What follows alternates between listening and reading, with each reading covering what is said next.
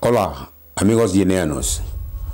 Una vez más me asomo a esta ventana para dirigirme a vosotros, mi pueblo Guinea Ecuatorial, y tomar conversación directa, yo hablando y ustedes escuchándome. La verdad es que este mes de octubre ha dado mucho de sí, el mes de la independencia de Guinea Ecuatorial, 12 de octubre del 68.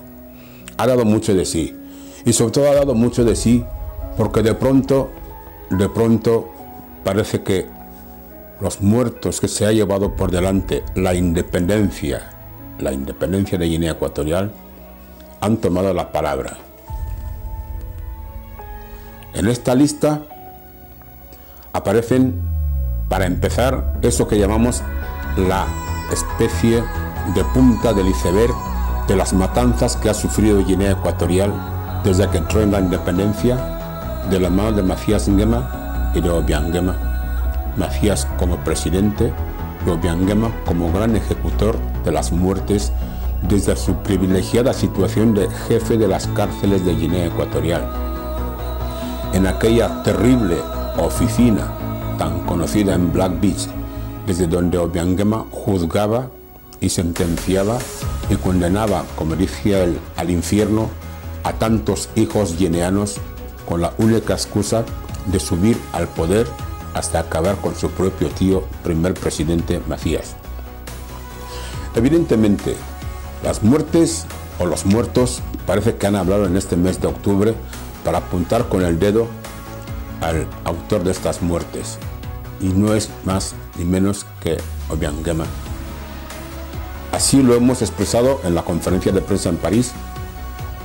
Así lo venimos expresando en esa especie de trifulga que ha habido entre el embajador de Obiangema en París y la embajadora de Obiangema en Madrid, con los que hemos tenido, pues eso, debates, algunos a distancia, otros personalmente, como el que acabo de tener con la señora Angueondo, ¿eh?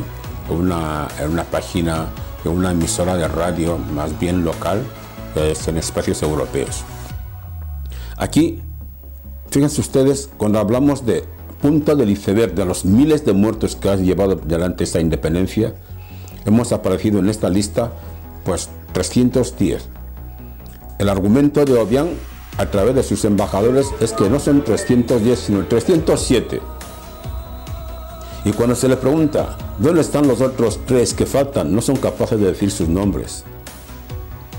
Por lo tanto, el mes de octubre, mejor que el 3 de agosto, el 12 de octubre de este año, ha dado el aldabonazo en la conciencia del régimen. No se puede reinar matando.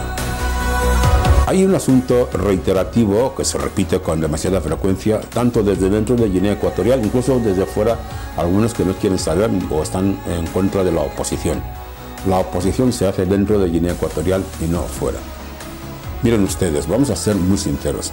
Cuando un exiliado, vamos a suponer como yo, ve y sabe y constata lo que pasó con Eloy Elo Bengono, de Mongomo, naturalmente, un gran abogado, un, gran, un ilustre abogado, ese abogado al que Macías Nguema llamaba abogado de Yuca, y que fue él precisamente el que le defendió en el famoso juicio donde Macías dijo aquello de que yo no era jefe de cárcel, preguntárselo al jefe de cárcel.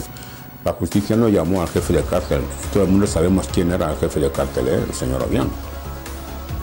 Bueno, pues ese abogado estuvo años y años recluido en el exilio en España. Le dio por volver a Guinea Ecuatorial. Cualquiera de vosotros sabe cuánto tiempo duró en Guinea Ecuatorial. Como digo yo, se lo comieron. Vamos a, retornar a los tiempos modernos.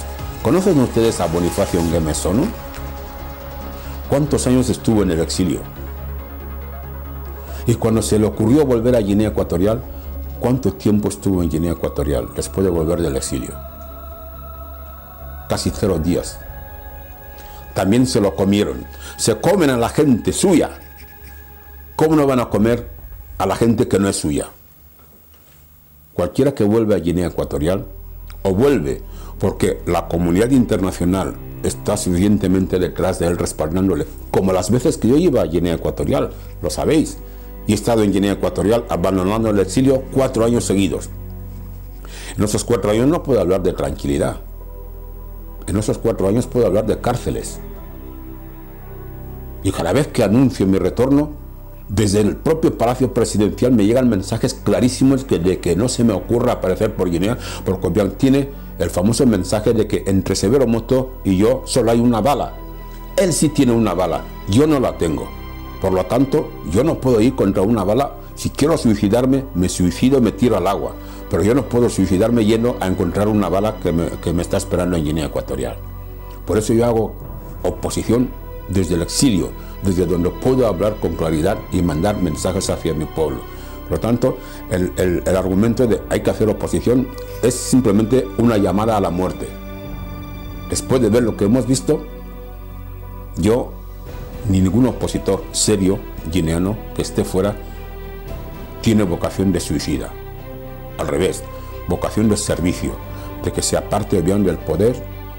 Y hay en los periodistas, por cierto, hay que recordarlo, eh, todos los periodistas africanos preguntan, ¿y cómo vais a quitar a Obiang?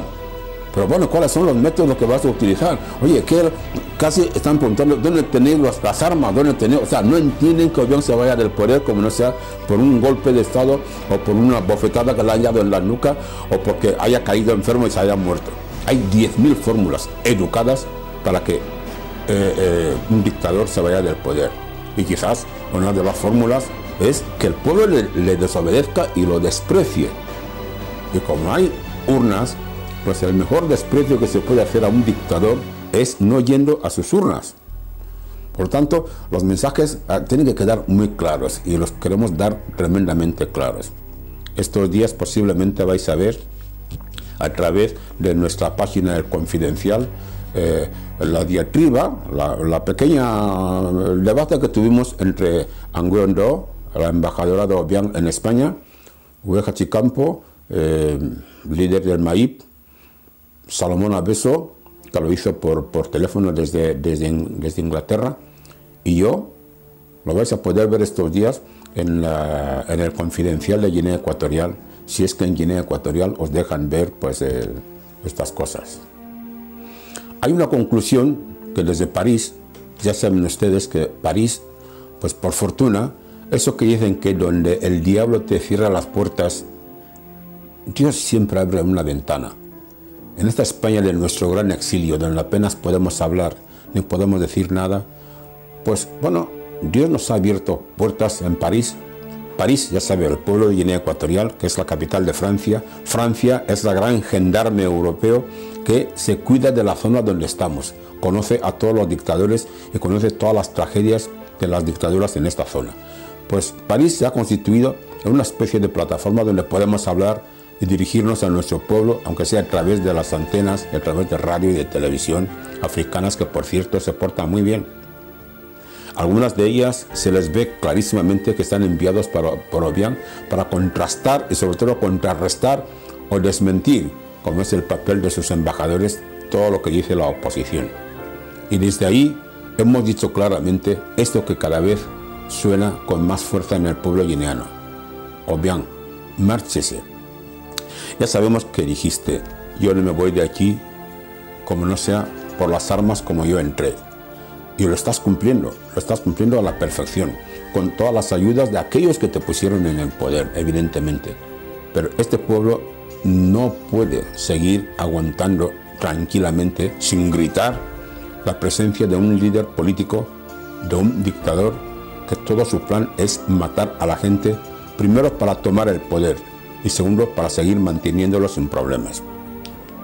De manera que París ha sido el punto de referencia. Sabemos que le duele. Claro, es que el mes de octubre, 12 de octubre, es el que nos recuerda que de la autonomía, cuando esperábamos ascender hacia una independencia de libertad, hemos caído en el abismo de la falta de libertad. Por eso el llanto del pueblo guineano, hasta que usted se vaya del poder, y mire que le estoy hablando de usted y de, de tú. De usted porque dicen que es usted presidente. Y de tú porque eres un ser humano, tan ser humano como cualquier otro de los que vivimos en la tierra. Y su forma de tratarnos no es la de un presidente que cuida de un pueblo, sino de un enemigo que lucha contra un pueblo. Por eso, de vez en cuando le llamo a usted, porque es presidente, pero sobre todo le tú, porque eres tan humano como cualquier otro. Los últimos, últimos mensajes que recibimos de, de Guinea Ecuatorial es de que usted se encamina hacia unas elecciones en las que por una parte le aconsejan que mejor no aparezcas en estas elecciones. Segundo, que ni sus hijos, ni sus familiares, ni mujeres, ni nada se pongan al frente de una candidatura eh, que evidentemente estará totalmente manchada de sangre, manchada de maldad. Y un pueblo como el pueblo guineano no puede aceptar elegir a una persona o a un grupo de personas que sabe que van a servir para machacarlos y para matarlos. Que quede claro este mensaje de la oposición. La oposición dice que no puede haber nuevas elecciones en Guinea Ecuatorial para elegir de nuevo a Gema o a su hijo o a su mujer o cualquiera de los que realmente tienen a Guinea Ecuatorial cerrado en un puño y no nos deja la libertad. Luego van la gente con la excusa de que, bueno, es que, chicos, ya sabes, aquí es que, en fin, si no vamos nos van a quitar el trabajo y me van a quitar el pan. Bueno, pues miren ustedes, ¿saben cuánta gente está aguantando sin comer el pan de Obiang? Y si el pueblo se levantara un día y dijera, yo no voy a elegir, ya que siempre se elige él mismo, pues que se elija, pero yo no voy a las urnas. Esto es un mensaje que está clarísimo. Cualquier líder o miembro de la oposición os lo va a decir. No vayáis. Dejadle, ya que vayáis o no vayáis. Vamos a ver, hay un ejemplo muy claro. Un líder político guineano de un partido importante en Guinea Ecuatorial me contó que un día de elecciones a las 12 de la mañana, las elecciones empezarían quizás a las 7 o a las 8 o a la hora que fueran, a las 12 de la mañana ya estaban hechos los resultados. Y la gente todavía iba a votar, pero en el Ministerio de Interior ya estaban las listas y los resultados de las elecciones. Y a un líder le dijeron, oye, firma porque total, esto que están haciendo no, no vale la pena, ya las elecciones están hechas. Pues ¿para qué vais a poneros en fila a votar si las listas y los resultados de las elecciones siempre están hechas antes de que comiencen las elecciones. No os lo vamos a decir gritando, os lo vamos a decir con absoluta tranquilidad. No vayáis a votar a quien ya está votado.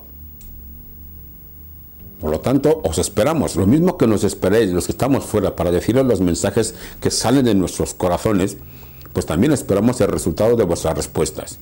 No vayáis a estas elecciones como están previamente em, preferidas por un diálogo. Diálogo significa uno habla, el otro escucha, uno escucha, el otro habla y vamos compartiendo las opiniones hasta llegar a una conclusión final. El diálogo nunca es escuchar las sabias orientaciones de no sé quién.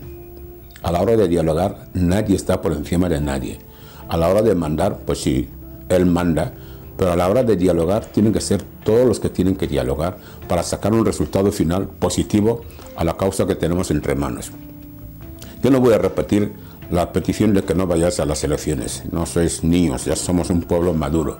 Por lo tanto, vamos a intentar hacer ver que este es un tema que no es de broma. Y solamente está en vuestras manos. La comunidad internacional exige que os ayudéis para que ellos también os ayuden. Si no, no, nos ayudamos nosotros mismos, no tienen ellos la más mínima obligación de ayudarnos. Y una de las formas de ayudarnos nosotros mismos es en unas elecciones como las que vienen. Os ayudéis no yendo a votar. Y a ver si o bien manda escuadrones de la muerte y militares a buscaros en vuestros pueblos. Hay una comunidad internacional que está atenta para ver si esto sucede. Por lo tanto, querido pueblo guineano, olvidaos de las elecciones quedaos en vuestras casas y os lo decimos con bastante tiempo. ¿eh? A lo mejor otros líderes políticos os lo van a repetir, pero yo me adelanto a través de esta grabación para que sepáis cuál es la opinión de Severo Moto y cuál es la opinión del Partido del Progreso y de todo lo que significa el Partido del Progreso y todo lo que significan los, los componentes de este partido. Por lo tanto, este es un mensaje clarísimo, no hace falta que lo reiteremos, pero que sepáis que los muertos que se ha llevado por delante el gran jefe de cárceles en tiempo de Macías y todavía jefe de cárceles en su propio tiempo, 11 años primero y ahora 36, este señor no es la mejor persona para que Guinea recupere su dignidad y su libertad. Dicho esto, creo que es suficiente mensaje para que lo meditemos todos de aquí hasta que se convoquen las elecciones. Un fuerte abrazo como siempre, vuestro hijo, hermano